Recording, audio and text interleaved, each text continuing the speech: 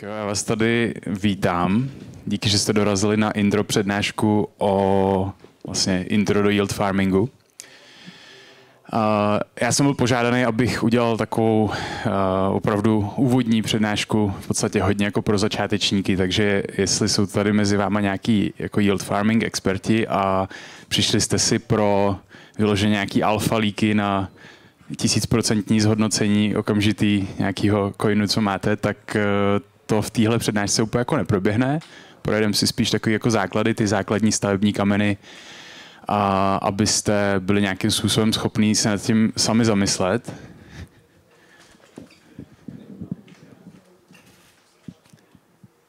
Já jsem strašně rád, že nemusím být venku a smažit se někde, jako smažit se někde venku. Já nezávidím těm speakerům tam.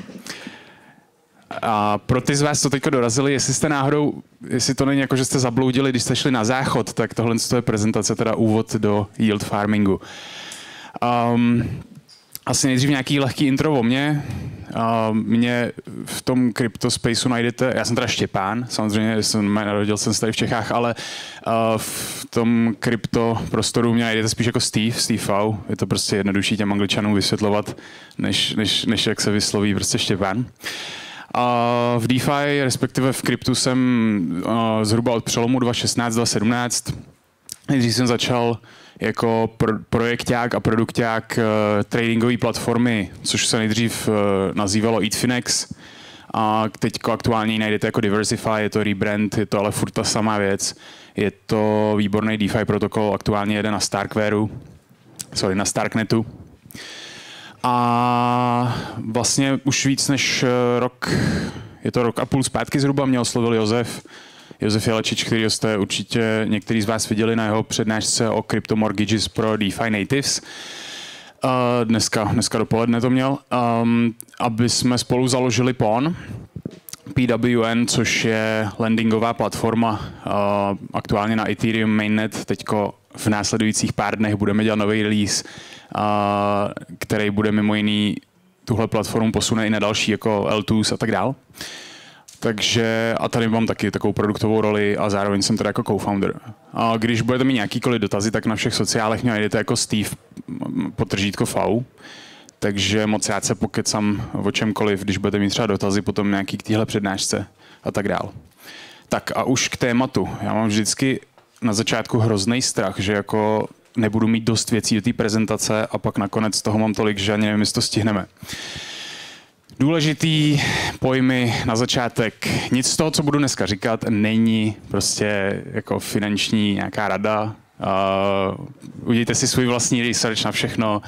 A prosím vás, jako já jsem tady dal radši ty daně, jo, protože uh, teďko za poslední dva roky a to jako jsem si na to dával fakt bacha, abych měl všechno zalogovaný, abych prostě všechno měl ošéfovaný. Poslední dva roky řešit jako kryptodaně je strašný pain, strašný pain a podle mě ta smyčka se bude jenom jako utahovat a vlastně ten yield farming, kde pracujete s nějakým úrokem, s nějakýma airdropama, s nějakýma prostě přesunama uh, fondů, prostě aktiv z jednoho chainu na druhý a tak dál, tak se to ještě prostě komplikuje na entou takže uh, jestli jsou tady tací, kteří si myslí, že to prostě schováte a prostě to nezdaníte, tak na to jako zapomeňte a opravdu si dělejte nějaký pořádný reporting, aby uh, jste se pak nedostali zbytečně nějakého průšvihu. Je to ještě prostě, jak říkám, o, o úroveň komplikovanější, než prostě na nějaký hodlení, nákup a prodej. Tak, první pravidlo. Uh, už jste určitě 100 milionkrát slyšeli takovou tu hlášku o tom, jakože používejte jenom aktiva, který můžete ztratit taky ty keci. To už všichni znáte. Ale já stejně bych chtěl znova mluvit o tom uh, prostě nebejt greedy. A je to z jednoho jednoduchého důvodu. Pokud držíte jenom tohle pravidlo a teď se všichni zvednete a odejdete z té přednáškovky, tak uh, na tom budete líp než 97, možná 99% toho kryptotrhu. Já jsem si tady proto zapučil tu klasickou jako bell curve. A moje aktuálně soukromí pozice, který v kryptu držím, jsou vlastně dělím to na ty tři kategorie, že jo? Ty věci, které prostě jenom hodlím, prostě jsem to někde nakoupil v průběhu času, postupně dokupuju a jenom to jako hodlím.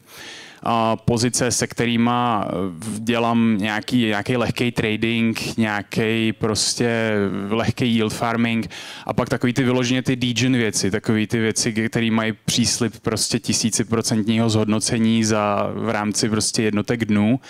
A když bych vlastně uh, to, to, to položil někam na tenhle graf, kde vlastně tady je jakoby 100% výnos, tady je, že jsem zhruba na svém a tady je, že jsem v podstatě v 100% v mínusu, tak zhruba tady jsou ty pozice, který prostě hodlím. Jo? To, je ten, to je ten eater. A i v tomhle totálním průseru v podstatě s prominutím teda, uh, kdy všechny trhy jdou dolů, tak uh, na těch hodlících pozicích já jsem v průměru prostě třeba 400% jako up.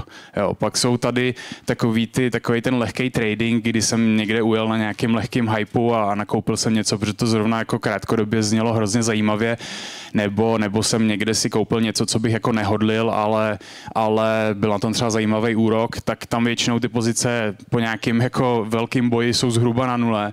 A pak takový ty nejvíc promising věci, které prostě vypadaly jako, že that's the new thing, that's gonna change the world a prostě um, what's up, what's up, what's up, jo, že znáte to video, tak to je prostě tady téměř jako všechno na minus 100%. Um, no a teďko samozřejmě tím chci říct, že v podstatě, kdybyste jenom jakoby průběžně nakupovali věci, kterým jako dlouhodobě věříte, a dlouhodobě prosím vás myslím tím jako v rámci jako jednotek, potenciálně desítek let, ne dlouhodobě v, ve smyslu jako do pátku to budu držet a pak to teda flipnu, tak budete prostě někde tady. A teď je pro vás jako otázka, jestli jako vám stojí za to snažit se posunout prostě mezi tady ty 3% těch vyvolených, který někde byli brutálně laky a vydělali prostě deseti tisíc násobek toho svého vkladu, ale zároveň riskujete, že se prostě velice rychle jako posunete až tady úplně na, ten, na, ten, na to dno těch lidí, který prostě si uh, tím svým tradingem prostě prodělali ty kalhoty a v nejhorším možném případě ještě zastavili barák. Jakoby, jo. Uh, takže to je jenom taková jakoby lehká filozofická úvaha na začátek. Jako si projedeme pár ještě dalších, dalších pravidel, na kterých podle mě ten yield farming musí stát. Uh, to druhý, eh, obzvlášť v téhle základní přednášce, já mám ještě odpoledne později jednu, která je trošku víc advanced, ale v téhle eh, základní prezentaci budeme mluvit o tom, jak generovat ten yield, nějaký lehký úrok na něčem, prostě třeba na tom úplně jednoduchým eateru, který byste stejně jinak jako by drželi. Jo? Není to o tom, že um, nakoupíte něco, co vůbec netušíte, co je, něco, co prostě um, něco, co vám, já nevím, nějaký kámoš ukázal jako landing page toho, prostě a vypadá to hrozně cool, ale netušíte vůbec, co to je, netušíte, jestli to za půl roku ještě bude existovat. O takových jako věcech se tady v téhle prezentaci bavit nebudeme. Um, a určitě, určitě je dobrý si vždycky aspoň dělat jako mentální, mentální cvičení na téma, hele, mi tady chodí nějaký úrok z něčeho, já jsem tady staknul ty coiny, nebo prostě jsem někam něco depozitnul, chodí mi z toho nějaký úrok, nebo mi to prostě vyplácí nějaký jako bonus. Odkud se to jako bere? Je to jako, že na druhé straně nějaká reálná poptávka, protože prostě já jsem třeba někomu půjčil a ten někdo mi za to, že jsem mu půjčil, platí úrok. A nebo je to ty nějaký prostě broken uh, systém, který se, který se nafukuje šestkrát rychleji, než jak z toho vypadávají ty úroky a prostě je jenom otázka času, než to imploduje. Většinou stačí 15 minut googlit nebo koukat na nějaký Reddit nebo si někde to zadat jako do Twitteru a máte velice dobrý obrázek o tom, jestli, jestli jako eh, se bavíme o nějakém udržitelném yieldu, anebo jestli je to prostě jenom funkce toho, že eh, eh, je vám ten výnos vyplácený třeba z toho, že prostě se někde jako extrémně rychle nafukuje ta supply toho tokenu a pak je to o tom, že z toho chcete co nejrychleji prostě vypadnout. Pak je to vlastně jenom o tom, že vám to generuje nějaký yield a vaším jediným úkolem je z toho vystoupit dřív než ostatní. Jako, možná vám to trochu připomíná nějaký Ponzi, ale vlastně Ponzinomics je docela reálný pojem v kryptu a není to nic úplně netradičního. Jo, o tom jste mluvil. Jo vlastně je to nějaký dilution toho supply, je to to, že vlastně je to třeba nějaký nový protokol, do kterého výsíčka nalili strašně peněz a oni teď vám vyplácí prostě nějaký bonus za to, že to používáte, a nebo je to, nebo je to tím, že opravdu, jak jsem říkal, je tam na druhé straně nějaká skutečná poptávka, skutečně tam řešíte něčí jako problém a za to dostáváte zaplaceno. A zde dovolím trošku šilnout náš, ten, tu naší landingovou platformu, protože my jsme klasický peer-to-peer model. To znamená vlastně, když přijdete k nám a někomu jako půjčíte, tak ten váš yield je naprosto jasně daný tím, že vy jste někomu půjčili, víte přesně komu, vidíte tu jeho adresu a vlastně on vám platí ten úrok a v tom horším případě, kdy defaultne, tak dostanete nějaký kolaterál. Jo? Takže to není, že by prostě ten yield vyskakoval od, eh, od nikud. No, samozřejmě většina věcí je prostě totální scam. Jakmile vám přijde něco too good to be true, uh, prostě garantovaný yieldy, všechny možný uh, yieldy na, já nevím, stablecoinech, který prostě jsou garantovaný, že budou víc než 20%, vy teďko nedávno Luna, že jo, takové věci to je buď totální průser, který, ale to, že nikdo nevidí, kde ten průser je, neznamená, že tam ten průser jako není. A nebo je to prostě jako jenom čekají čekaj na, ně, na to, než se tam naschromáždí nějaký fondy a pak uh, pak, eh, pak je to prostě rug pool nebo, nebo nějaký jiný, jako jiný, jiný scam. Jakmile je to prostě komplikovaný moc, jakmile je potřeba někam vyloženě jako posílat transakci, jako tím nemyslím interakci se smart kontraktem, kdy vy jako v úvozovkách depozitnete ty svý fondy do toho smart kontraktu, ale pokud někam vyloženě jako po vás někdo chce, abyste někam něco jako posílali, uh, s výjimkou samozřejmě některých centralizovaných exchanges, na který teda jako fyzicky posíláte ty svoje prachy, ale tady se bavím o DeFi jako světě, tak posílání to je velký red flag. No a pak samozřejmě jako reklamy na Google, sociálech, anebo, anebo jako takové ty věci, které jsou až nezdravě propagované influencerama. To prostě vždycky je pro mě obrovský red flag, vždycky to zavání nějakým jako průšvihem. Kdo z vás zná AV, zná určitě i zakladatele Stanyho, který má prostě občas taky trošku kontroverzní mm, jako myšlenky na Twitteru a on zrovna jako nedávno ale napsal jako něco, s čím musím výborně jako souhlasit. On vlastně napsal, že jako marketing, marketing v DeFi nefunguje. Já bych neřekl, že úplně marketing v DeFi nefunguje jako takhle absolutně, ale jako ten klasický marketing, ten tradiční, prostě přesně taky ty placené reklamy na Google a tohle. To znamená, jakmile něco takového vidíte, tak je velká pravděpodobnost, že, že to je nějaký průšvih. Takže bacha na to. Tak a teď se podíváme, jsme si prošli takovou tu základní filozofii, na co si já pozor. By the way, ty slidy, nevím, jestli budou někde jako k dispozici defaultně jakoby z konference, když nebudou, tak uh, mi klidně napište, buď na tom Twitteru nebo na Telegramu, já vám to rád poskytnu. A teď se podíváme teda na ty úplně základní stavební kameny, jo, protože co si potom všimnete, když potom přijdete i na tu odpolední přednášku, kde mluvím o těch trošku komplikovanějších mechanismech, tak vlastně všechno to furt dokola se staví jenom z těch několika málo základních principů. Akorát ten rozdíl je v tom, že v téhle prezentaci se budeme bavit o těch věcech, kde vám zpravidla stačí jedno kliknutí nebo jedna nějaká transakce, nebo prostě je to fakt jako jednoduchý, nepotřebujete žádnou jako technickou zdatnost. A v té odpolední pak už je to že to má několik kroků a že prostě uh, uh, už, už, to, už tam jsou nějaký další jako třeba rizika v tom. Takže klasika, jako máte nějaký uh, svůj token, uh, třeba ETH nebo vrepnutý Bitcoin nebo, nebo nějaký svůj jiný jako DeFi oblíbený token a můžete to narvat do nějakého půlu. Mezi půl klasicky patří, nebo ty nejznámější už zmíněný AV, a nebo, nebo Compound je vlastně jeden z těch úplně nejvíc OG protokolů na tohle téma. Ten yield u tohohle je relativně malinkatý, jako jo, na, obzvlášť na věci, jako je třeba Ether nebo jako je, jako je, jako je ten vrepnutý Bitcoin, tak můžete zapomenout na to, že to bude přes 1%, ale ve finále jako zase na druhou stranu je to relativně automatizovaný, protože vy to tam jednou dáte a už to tam jakoby tak nějak forever prostě bude. A jako samozřejmě je to, je to relativní pojem, ale je to relativně stabilní. Jo? To znamená, že prostě, eh, když se stane nějaký exploit v DeFi, tak už to jako málo kdy bývá na tady těch jako velkých zaběhnutých protokolech, jako je právě jako Aave nebo Compound. No a výhoda ještě toho půlu je, že vy vlastně, pokud budete chtít dál jako těma prostředkama nějak disponovat, aniž byste je z toho protokolu vybírali, tak eh, vy můžete ten svůj depozit, na kterém generujete ten, ten výnos, vy můžete to použít jako zástavu pro úvěr, takže si můžete potom vzít třeba nějaký stablecoin z toho nebo něco a zase s tím dál fungovat jako v DeFi. Uh, pak je tady ten peer-to-peer lending, to už jsem lehce zmiňoval, když jsem mluvil o nás, ale ještě, uh, aby to bylo úplně fair, tak zmíním Niftify, což uh, jsou kluci, nebo teda teď už i holky, ale originálně to byla parta kluků, který um, to už dělají asi zhruba tři roky. Výhoda je teda i u nich, i u nás, že můžete jako kolaterál použít třeba NFT, takže to NFT svoje třeba nenarvete právě třeba do compoundu, ale, ale u těch peer-to-peer lending platform protože ta technologie funguje trochu jinak, tak můžete po, jako fungovat i s NFTčkama. Ten yield je tam o něco vyšší. To vlastně ta, ten důvod toho, proč ten yield může být klidně 5 až i třeba 20 a víc procent je proto, že um, když tam přijde někdo s nějakým NFTčkem, který je třeba trochu exotický, ale ve finále ještě do nedávna i třeba s jako CryptoPunkem, jo, když jste přišli na takovouhle peer-to-peer lending platformu, tak uh, to byl jediný trh, na kterém vy jste si byli schopni půjčit. To znamená, že to je vlastně taky jako prémium, který uh, ten člověk uh, platí za to, že vůbec z toho vytáhne tu likviditu likviditu.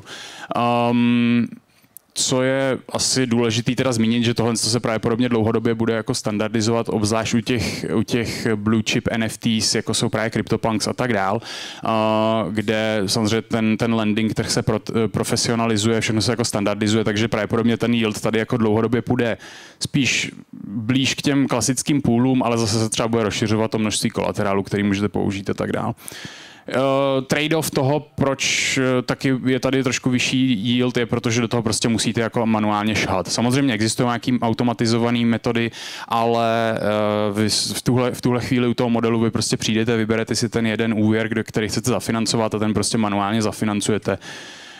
Um, no a jak jsem říkal, takže když ten, když ten úvěr defaultne, tak vy můžete získat ten kolaterál, což ještě nedávno byl vlastně na Niftyfy ten primární důvod toho, proč většina lidí tam jakoby poskytovala ty úvěry, protože si brousili zuby na to, že ten, že ten kdo si tam půjčuje, že, že, že nesplatí ten úvěr, že defaultne a že oni si nechají to NFT, tak to je jako, jako jenom side note.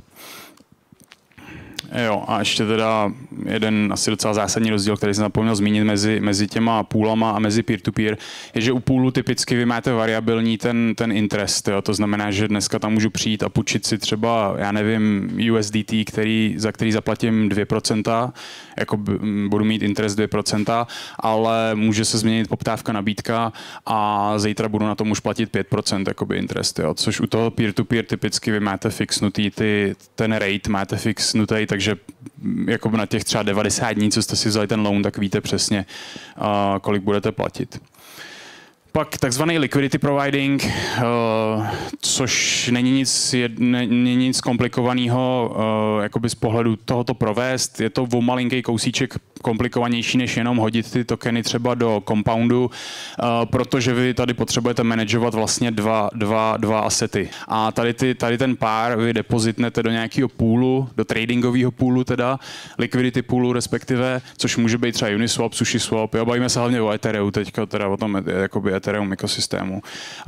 Um, a co vy vlastně děláte, je, že vy poskytujete likviditu tomu, tomu trhu, těm lidem, který, který vlastně na tom pak tradujou a za to vy získáváte nějaký tradingový fíčka, v některých případech ještě máte v podstatě podíl na tom, když je tam nějaký jakoby mm, slipič, nebo jak bych to řekl.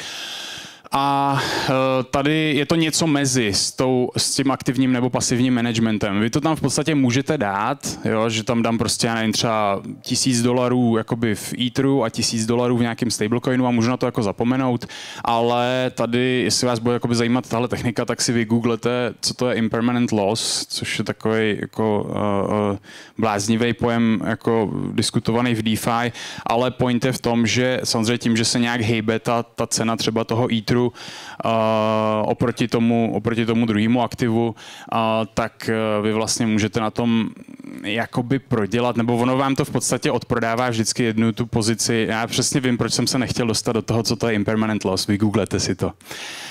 Uh, ale je to důležitý, důležitý point. A proč je to částečně aktivní management? Protože vy ideálně byste jako se měli vždycky jednou za čas na tu pozici podívat a třeba si ji rebalancovat, jo? nebo si z toho nějaký profit vyndat nebo něco, jo? že to není úplně jenom tak jako dát to tam a za, za dva roky se k tomu vrátit a vyndat to. To by ta pozice asi nevypadala úplně dobře. Důležitý je teda zmínit Uniswap, SushiSwap. Pokud s vás zajímají ty L2s, tak tady zmíním ten Diversify, který jsou takový jako hybrid mezi tím tradičním modelem tradingu a mezi právě tady těma liquidity poolama. A potom eh, je tady třeba Bancor, což eh, je takzvaný single-sided liquidity, což v podstatě znamená, že místo toho, aby vy jste tam depozitnuli ty, ten pár, tak vy depozitnete jenom jeden nebo jenom ten druhý uh, token a vlastně pak jakoby odpadá částečně ten impermanent loss. Takže to je další stavební blok. A pak máte nějaký jednoduchý staking. Tak staking úplně nejlepší příklad podle mě teďko je, uh, když máte nějaký Ether, tak ho můžete stakenout um, za nějaký až 5% teoreticky, ale ono samozřejmě těch 5% to málo kdy dosáhne, spíš kolem průměrně 4%. Můžete svůj Ether stakenout krz projekt, který se jmenuje Lido. Um, je trošku kontroverzní říkat, že Lido patří jakoby do DeFi, protože jsou tam prostě centralizované elementy, ale minimálně Lido je výborně jako propojený na to DeFi, jo? takže když potom chcete prostě ten stakenutý token dál používat, tak tohle je jako určitě dobrý řešení.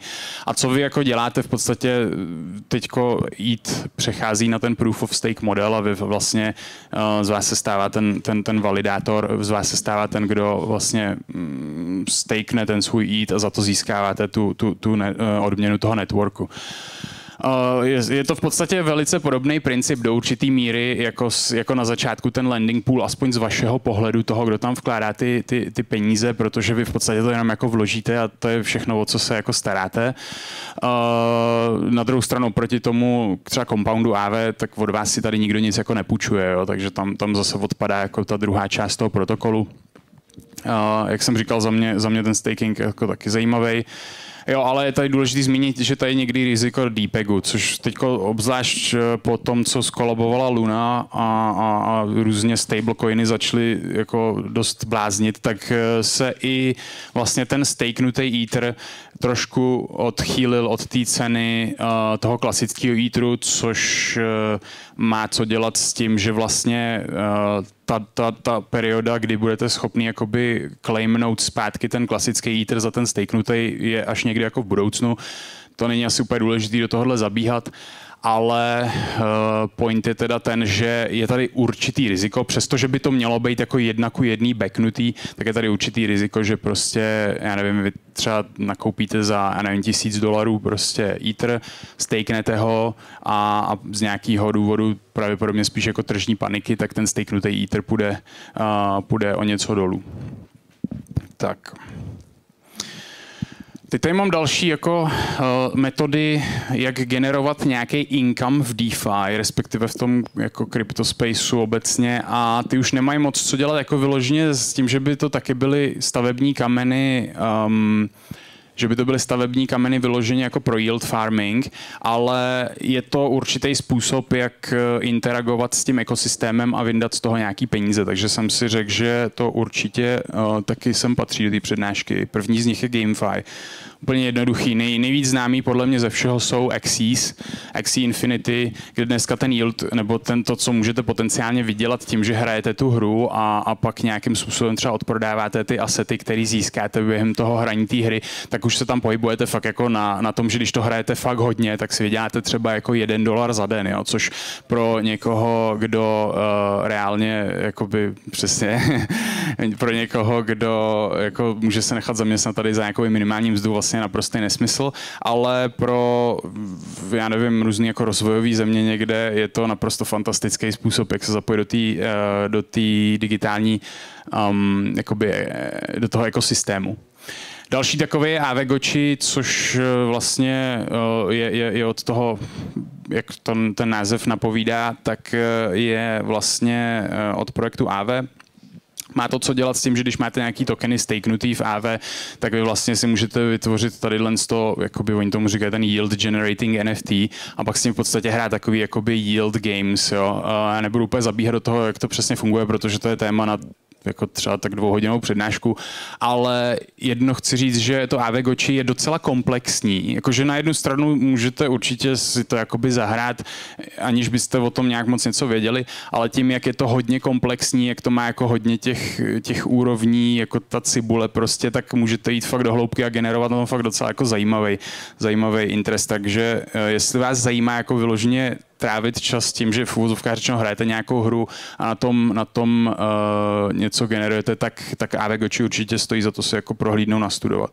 No a pak klasika Gods Unchained, což eh, jestli někdo z vás hrál Magic the Gathering eh, nebo různý jako ty karetní hry, tak tohle je výborná hra jako z pohledu toho, že to za prvý opravdu hraje spoustu lidí proto, aby jako hráli tu hru a nejenom proto, aby na tom farmili ty, ty prachy.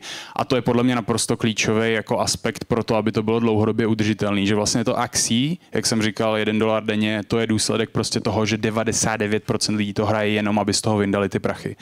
Uh, což u toho Gods Unchained vlastně není ten case. Tam fakt jako by se dalo tvrdit, že třeba 80-85% lidí to hraje, protože to je opravdu jako dobrá karetní hra. A e, v rámci toho, když potom otvíráte nějaký ty balíčky, tak jste schopný, uh, máte šanci, že vám padne třeba nějaký raritní NFT a ty, ty NFT potom jdou od uh, třeba jednotek dolarů až, až po, jako po stovky, myslím, že i nějaký jako jsou za tisíce dolarů. Ember Sword, uh, můj, můj docela jako oblíbenec, uh, jestli někdo z vás hrál RuneScape, nebo třeba Vovko, nebo Diablo, nebo takhle, tak to je jako podobný princip hry. A zase, stejně jako u těch Gods Unchained, vypadá to, že prostě i to studio a i, ty, i ta komunita je prostě z 99% zaměřená na to, jako že je to zajímavá hra a až potom jako druhotně o to, jde o to, že tam můžete v tom něco vydělat. Konkrétně, konkrétně v Ember Swordu můžete vydělat v podstatě tím, že si koupíte uh, kus jako země a ta vám pak generuje nějaký další jako income. A by the way, ty NFTčka všechny, které jsme tady jakoby zmínili, tak se potom dají teoreticky uh, různě zapojit do, do yield farmingových uh, um, jako strategií, protože dneska všechny ty NFTčka buď už jsou jako dost kompatibilní s věcma, anebo se dají tokenizovat přes něco, jako je třeba NFTX, ale tomu se dostanu až, až v té až druhé jako prezentaci. No a pak, pak máme taky zástupce Somnium Space, což bych uh, nes, nesměl vůbec opomenout. No, Další věc, airdrop hunting. Eh, to je klasika úplná, to bylo teď, že jo, celý ten bullrun uh, vlastně třeba u nás na Discordu jednoho dne náš Discord někde líknul prostě jako, že jsme upcoming projekt a během jednoho dne nám tam přišlo prostě 300 lidí, kteří všichni začali jako GM, GM, GM a náš, náš chat nebylo nic jiného než jako GM, protože si někde přečetli, že když budou jako aktivní u nás na Discordu, že pak asi budou mít jako nárok na nějaký airdrop nebo co si. Eh, ten yield tady je v otazníčkách, protože prostě to fakt záleží na tom, jak si kdo ten jako airdrop nastaví, ale eh, jako nebudem si nic nalhávat, to je prostě dřina. Jako, ten, ten, ten airdrop hunting je prostě o tom, že opravdu musíte se dívat na to, jaký jsou nový zajímavý projekty, které by potenciálně mohli nebo nemuseli eventuálně dělat token a pak zjišťovat, jak, jako být, jak participovat v té v komunitě. Um, teď nedávno, že to bylo třeba INS. Když to zrovna trefíte, tak je to jako docela dobrý income, ale nebudem si nic nalhávat, je to prostě práce jako na, na, na full time pomalu, aby to jako dávalo nějaký smysl. No a pak samozřejmě jsou tady jako v úvozovkách free money. Uh, free samozřejmě není jako nic, ale máte různý uh, Sybil resistant uh, registries, jako je třeba Proof of Humanity. Kdo z vás zná Kleros, tak Proof of Humanity je vlastně jejich projekt, kde vy vlastně verifikujete, že jste jako živý člověk v podstatě a uh, pak získáte nárok na jejich jako, jako takový continuous airdrop prostě Universal Basic Income tokenu, který samozřejmě tím, že tam je obrovská sell pressure a, a téměř jako zatím mocné use caseů, že by to lidi kupovali, protože si s tím tady někde koupí kafe jako ve stánku, tak, eh, tak ta cena toho jako v poslední dobou šla relativně dolů, ale minimálně je to jako zajímavý kon, eh, koncept. Stejně tak prostě WorldCoin, což teda samozřejmě další kontroverzní jméno, ale asi jako když už jsem zmínil třeba ten Proof of Humanity, tak WorldCoin je podobný koncept. A pak máte různý DAO bounties. Jo. E, ty DAO jsou strašně, teďko teď se si zase roztrh pytel a DAO jsou uh, um, velice jako otevřený tomu, aby vy jste do toho přispěli jako nějaký community member, ať už tím, že umíte třeba jako programovat, nebo grafikou, nebo prostě, nebo tím, že budete jenom jako nějaký community ambassador a, a ty bounties začínají se jako, uh, um, ty, ty, ty bounties se začínají jako objevovat víc a víc. Ale zase je to prostě jako práce, takže, takže se bavíme o tom, že ten yield farming jako takový s tímhle úplně nesouvisí, ale je to nějaký způsob generování cache v tom, v tom DeFi space. Uh, tak, no a samozřejmě teď jsme si prošli ty základní stavební kameny, respektive ta první půlka těch věcí, co jsem říkal, byly stavební, uh, základní stavební kameny k tomu uh, yield farmingu. Mě za dvě minuty už vykopnou. A vlastně, um, kromě toho, že samozřejmě cokoliv z toho vy byste měli být schopný udělat ještě dneska, pokud máte nějaký krypto prostě v Metamasku třeba, tak uh, je to většina toho, co jsem říkal, na jedno, na jedno kliknutí. tak ale ten yield je v podstatě jenom jako třeba 1-2%. Za mě jako vlastně svým pro většinu lidí možná je to v pohodě, ale asi vás bude zajímat potom, jak tohle nějak jako nakombit a generovat na tom takový ty jako šílený věci. Takže tím pádem já bych vás chtěl pozvat teda v 15.30, jestli se nepletu, tak uh, nevím úplně v jaký přednáškovce, ale tam se podíváme na to, jak to, jak to kombinovat do sebe, jaký do pokročilých věcí.